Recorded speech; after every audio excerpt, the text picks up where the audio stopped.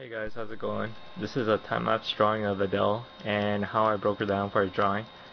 She has such a powerful voice and I've been listening to her a lot recently so I wanted to do a portrait of her. So I started by drawing her features fairly light, just enough where I know where things are.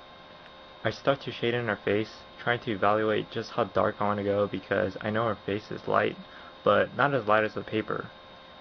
Her right side would be a shade lighter, but I'm still going to add some value on that side. I could have left a lot of that side alone and just used the paper to work as the spotlight, but I wanted to show a little more dimension on the right edge of her face. Once I have the foundation of her face, I start to create her facial features. I try to blend in her lips in a way where it doesn't pop out drastically, but enough where there's some form because she has full lips. Now, drawing in her eyes were pretty interesting because I was trying to figure out just how much eye makeup to apply. Drawing in that eye helped me evaluate that side of her face. Uh, you saw I went just a little darker on that side and I started to work on the neck and I kept the value somewhat consistent. Her neck would be a little darker though because her chin is casting a shadow.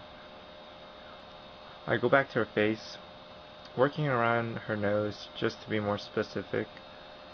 Uh, once that's done, I then cross over to work on her left eye, trying to draw in her lashes and incorporate that into the makeup she has on her eyelids.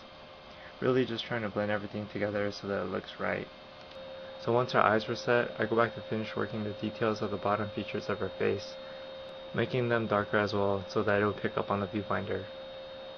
So at this time, I felt like I need to work on her hair.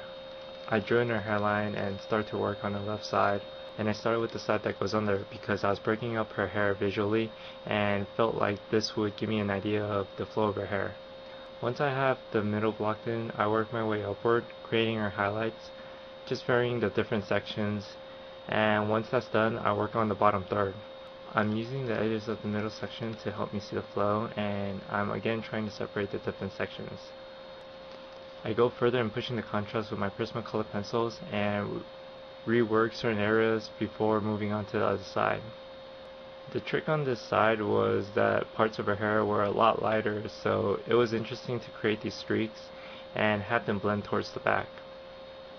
I again used the midsection to evaluate the flow of her hair towards the bottom. I ended up connecting the two sides and they should have a similar look more or less. The portrait is then finished off by drawing in her sweater.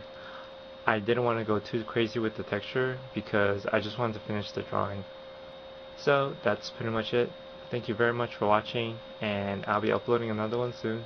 So until then, take care.